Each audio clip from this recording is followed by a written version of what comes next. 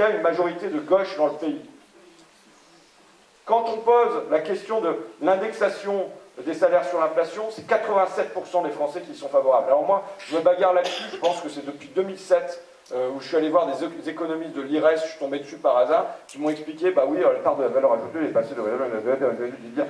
Bon, je comprenais rien ce qu'ils me disaient, j'aurais demandé de me faire un graphique, et j'ai compris que bon, il y avait 5 à 10 points de la valeur ajoutée qui avait glissé du travail vers le capital, que ça, ça représentait euh, euh, au moins une centaine de milliards d'euros tous les ans, que euh, j'avais traduit ça en hold-up géant. Bon, et donc ça fait depuis ce temps-là, ils m'ont expliqué que ça se passe au milieu des années 80 parce que c'est le moment où on désindexe les salaires sur l'inflation. Donc depuis ce moment-là, je suis pour l'indexation des salaires sur l'inflation. Mais euh, la CGT, ça a toujours été maintenu dans le programme de la CGT. Il ne faut pas dire que ça a été mis en avant non plus, en toute honnêteté. Là, ça ressurgit et on voit qu'on a 87% des Français avec nous sur une mesure comme celle-là. Mais vous décidez de taxer les dividendes, ça paraissait comme un truc de bolchevique, quoi de taxer les dividendes. Maintenant, c'est 88%.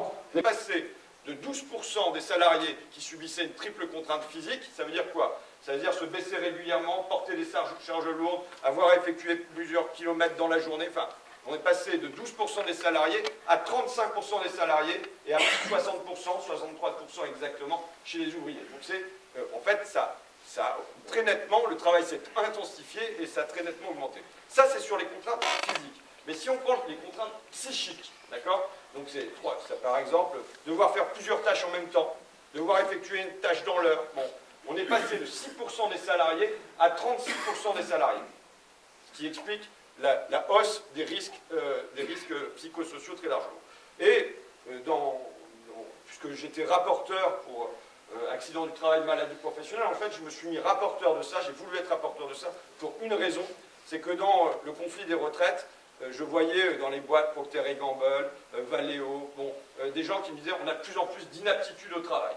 Bon, mais est-ce que c'était un ressenti comme ça? Donc j'ai fait une petite réunion à ma permanence avec des délégués syndicaux. Alors intuitivement, ils me disaient ah oui, oui, c'est vrai, c'était vrai dans les hypermarchés, c'était vrai dans la logistique, d'après eux, c'était vrai dans l'aéronautique. Il y a 10 ans, en 2012, puisque j'ai le stade de 2022-2012, on était à 50 000. En fait, il y a une hausse, ça a été plus que doublé, ça a augmenté de 134%. Ça signe, là, il signe, le ministre du Travail, en m'envoyant ce courrier-là, en me disant il n'y a pas de problème sur les inaptitudes, il n'y a pas de hausse, tout va bien, ils signent leur complicité avec le mal travail. Parce que si on se refuse à voir le problème, qui pour moi est gigantesque, qu'on a sous le nez, si on se refuse à le voir, je ne vois pas comment on va résoudre un problème, chercher des solutions, si on se refuse même à voir qu'il y a eurocritique de par mon parcours on se retrouve avec ma collègue Leïla Chebi, députée européenne, qui, à Bruxelles, propose la présomption de salariat pour les travailleurs des plateformes. Donc, c'est-à-dire que, euh, a priori, ils soient salariés et qu'ils puissent bénéficier de la sécurité sociale, des retraites, euh, euh, de l'assurance chômage. C'est voté par le Parlement européen, c'est accepté par la Commission européenne, et c'est le président de la République française, le roi des Uber Emmanuel Macron, qui met son veto s'y oppose. Et donc on a tout un débat en commission des affaires européennes avec les macronistes pour dire voilà, nous on est favorable à la présomption de salariat, il faut qu'on soutienne euh, en gros la proposition, euh, la et autres, hein, c'est atténué au du, temps, hein, des, discussions, mais il faut qu'on soutienne ça. Et on a les macronistes qui viennent nous dire non, non, euh, on ne veut pas de ça, c'est trop compliqué, il faut laisser les énergies se développer dans le plus de marché. Et au fond, c'est le même raisonnement qu'ils ont sur le travail. Le marché ne marche pas parce qu'il y a un certain nombre de pénuries dans des secteurs. On ne va pas se demander qu'est-ce que signifie la crise de la vocation à l'hôpital. Normalement, ce n'est pas qu'une question d'attractivité, ce n'est pas qu'une question sur les auxiliaires de vie non plus. Sur les cheminots qu'on interrogeait cet après-midi, c'est comment on fait pour que les gens ils soient bien dans leur travail et qu'ils aient envie d'y rester. Ça devrait être de la même manière sur l'hôpital. Et ça, ça ne se règle pas par du marché. Mais eux, leur solution, c'est de se dire que finalement, un cariste du Nord, il doit pouvoir devenir serveur dans le Sud. Et il faut juste flexibiliser un marché, donc casser ce qui peut encore exister, de statut, euh, et je le dis, tout ça sème le désordre. Tout ça sème le, tout ce que je viens d'énoncer sème le désordre et un sentiment d'instabilité euh, des Français dans la société. responsabilité nous sommes les garants de l'ordre, mais d'un ordre qui repose sur la justice, d'un ordre qui assure stabilité et sécurité à tous les citoyens de ce pays. Or, aujourd'hui, les gens sont placés dans l'instabilité permanente. Sur le travail, on doit poser un, principe simple. Les Français, tous les habitants de ce pays, doivent pouvoir vivre de leur travail. Ils doivent pouvoir bien en vivre et pas en survivre, et ils doivent pouvoir bien le vivre. Bien en vivre, c'est euh, les salaires, évidemment c'est l'indexation des salaires, à minima l'indexation des salaires sur l'inflation, et moi je serais plutôt pour l'indexation des salaires sur les dividendes. Hein. ça ferait plus 13%, plus 13% sur un an, ça se prend. Bon, euh, c'est euh, le partage. Enfin, je veux dire, on, a un espèce de gavage gigantesque en haut. Ça y est, je ne peux pas m'empêcher de le dire, mais il y a 25 ans, au lancement du classement de Challenge, les 500 fortunes françaises, c'était 5% du PIB. À l'arrivée de Emmanuel Macron, c'est 20%. Aujourd'hui, c'est 45%.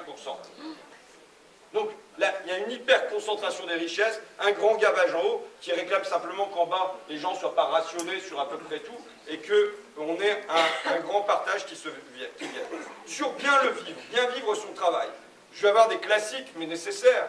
Retour des CHSCT, sans doute euh, renforcés, qui euh, sont des espèces de garde-fous dans le monde du travail un maximum de préventeurs, inspecteurs du travail, médecins du travail, qui mettent en œuvre vraiment ce que devait être la sécurité sociale en 1947, qui se proposait à l'époque de prévenir, prévenir, prévenir avant de réparer.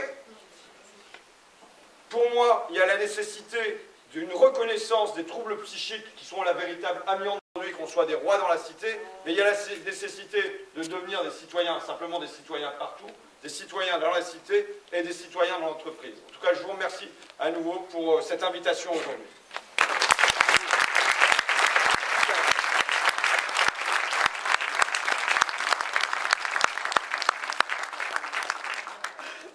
3, 4, 5, 6 fois 1, 2, 3 millions de personnes dans le pays, et y compris dans des petits bourgs chez moi, Fréville, Escarbotin, Corby, enfin des, des bleds dont on n'entend jamais parler, où là il y avait 50, 100, 400 personnes qui se sont réunies, c'est un point d'appui pour nous.